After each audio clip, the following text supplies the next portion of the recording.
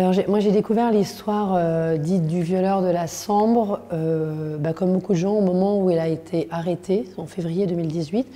Et euh, j'ai découvert cette histoire comme un, enfin, elle parvenue à mes oreilles comme un, comme un fait divers, c'est-à-dire un, fait criminel, de nature criminelle, qui a quelque chose d'un peu exceptionnel. Et ce qui y avait d'exceptionnel dans ce fait divers, c'était ses dimensions. En fait, c'est un homme qui a agressé sexuellement et violé des dizaines et des dizaines de femmes pendant 30 ans sur un tout petit territoire, sur la route entre son domicile et son usine, euh, une route qui longe la rivière de la Sambre, qui est dans le nord de la France, dans la région de Maubeuge. Et euh, c'est 27 km et je me suis, euh, cette histoire m'a interpellée parce que je me suis demandé comment, simplement comment c'était possible. Et c'est avec cette question que je, je pris un train pour aller à Maubeuge et voir, euh, essayer de répondre à cette question. Et puis, euh, en rencontrant euh, notamment les premières victimes, d'abord j'ai été bouleversée et sidérée par, leur histoire, par, elles m'ont raconté leur agression sexuelle ou, leur viol qui s'était déroulé il y a 10, 20 ou 30 ans comme s'il s'était déroulé la veille. Et donc euh, j'ai découvert ces femmes euh, dont la vie s'était arrêtée un matin sur le bord de la route et après qui avaient continué à vivre mais avec euh, des vies atrophiées, sculptées par la peur. Et voilà, donc voilà, d'abord c'est l'émotion qui m'a fait me rapprocher de cette histoire. Et puis très rapidement après, j'ai compris qu'il y avait autre chose de commun dans le récit de ces femmes. Alors il y a évidemment quelque chose de commun puisqu'elles ont eu affaire à un violeur en série, ce qu'elles ne savaient pas. Et donc, euh, comme tous les criminels en série, c'est extrêmement ritualisé et répétitif. Euh, mais il y avait autre chose euh, qu'elles avaient en commun, c'est le, sentiment de ne pas avoir été entendues, parfois même de ne pas avoir été crues, et, d'avoir vécu toutes ces années dans un silence presque complet autour de ce drame intime qui avait, qui avait été déterminant dans leur, dans leur vie.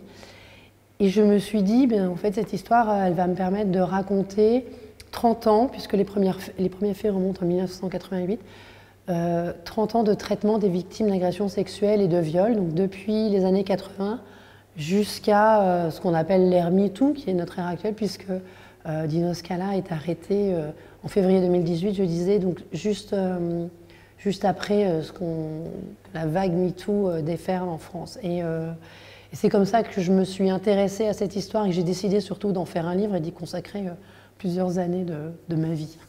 Ce, livre, je l'ai écrit en reconstituant, euh, c'est un puzzle de, milliers de pièces dont euh, la matière principale, c'est effectivement le récit des victimes.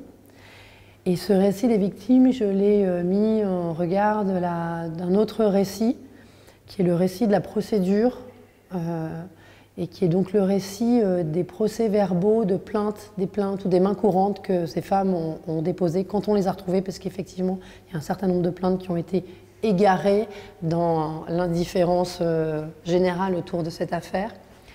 Et, euh, c'était assez intéressant pour moi parce que de, pouvoir justement, le récit qu'ont fait, ces, fait ces femmes, de leur agression ou de leur viol, euh, est euh, très sensiblement différent du récit qui en est fait euh, à la lecture des procès-verbaux, des plaintes, où systématiquement leur, leur récit est, amoindri, il est euphémisé notamment dans sa dimension sexuelle. On voit que enfin, assez régulièrement, des viols se transforment en agressions sexuelles dans la, qualification policière, des agressions sexuelles se transforment en tentatives de vol, quand bien même il n'y a pas eu vol. Et on voit qu'il y a une espèce de poids, de pression de la police pour euh, amenuiser euh, l'importance des faits, les disqualifier et notamment essayer d'en chasser la nature sexuelle.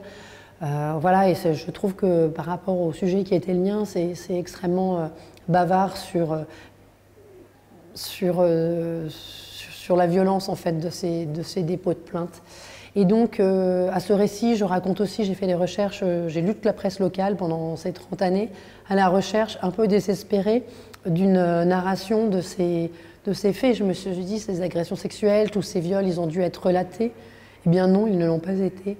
Ils ne l'ont pas été parce que, en fait, pendant très longtemps, on a considéré, alors c'est juste en train de changer, que l'agression sexuelle, la délinquance sexuelle, comme ça a relevé d'une agression qui touche à l'intime, en fait, ne relevait pas du sociétal, du politique. Et c'est comme ça qu'on n'en fait pas de. Il n'y en a pas de récit médiatique, il n'y en a pas de récit public, il n'y en a donc pas de préoccupation euh, publique. Voilà. Et c'est tous ces récits ou ces non-récits que j'ai, euh, je sais pas comment dire, que j'ai assemblés pour euh, raconter ces, ces, 30 années, euh, voilà, pour raconter y compris l'absence et le, silence. Ces dizaines et ces dizaines de crimes, donc Dino Scala, il a été renvoyé aux assises pour 56 faits. Euh, il a pu les commettre effectivement dans un silence parfait. Et parce que euh, personne ne parlait de cette histoire, il n'y a pas de récit médiatique, il n'y a pas de récit public. Ces femmes n'en parlaient pas parce qu'elles euh, avaient honte, parce que c'est ce qu'on renvoie aux victimes de violences sexuelles. Parfois parce qu'on leur a dit de ne pas en parler, pas toujours de manière malveillante, en pensant que peut-être elles oublieraient, mais elles n'ont pas oublié, évidemment. Et. Et, ce silence-là, euh, c'est ce silence qui construit de l'impunité et qui permet euh, aux violeurs de continuer à violer parce que c'est comme si ça n'existait pas en fait. Personne n'en parle, donc euh, ils continuent. Quoi. Ça dure 30 ans. Alors, je suis très heureuse, très honorée et je suis très contente qu'on mette à l'honneur le, journalisme narratif qui n'est pas un genre euh, tellement, euh, c'est assez paradoxal, on est dans le pays euh, qui a vu naître, vivre et travailler Albert Londres, et, et le journalisme narratif pourtant n'est pas, a un peu un sous-genre en France, notamment du point de vue des, journalistes. Autant on aime bien les écrivains qui se, à la manière d'Emmanuel Carrère, qui se qui, vont sur les chemins du, réel. Et moi, je suis journaliste de profession euh, et, c'est un genre qui est très peu euh, enseigné aux étudiants en, journalisme. Et voilà, moi je suis très heureuse que, d'abord pour ça, pour ce prix, qu'on euh, on récompense ce genre-là, qui est un journalisme particulier, puisque c'est le journalisme du temps long, du temps très très long, et c'est un journaliste qui euh, pour, pour, raconter le réel, enfin, pour cette histoire-là, la complexité de cette histoire-là, l'enchevêtrement des, dimensions intimes, politiques, et puis son ampleur, en fait, l'ampleur de cette affaire. Euh, il y avait besoin d'un espace-temps qui est celui du livre.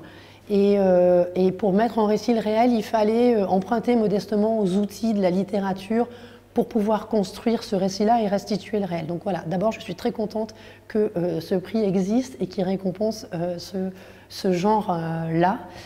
Et euh, l'autre chose, c'est que ce prix, d'abord le, jury est présidé par un, cinéaste, Dominique Moll, qui personnellement récemment m'a immensément ému avec son film La nuit du 12 sur ce qu'il raconte de la violence souterraine faite aux femmes et voilà qui le dit magnifiquement et que on, en parle, et c'est le cas dans mon livre, c'est le cas dans, ce film, que quand il surgit à la faveur d'un drame ou d'un voilà, fait divers.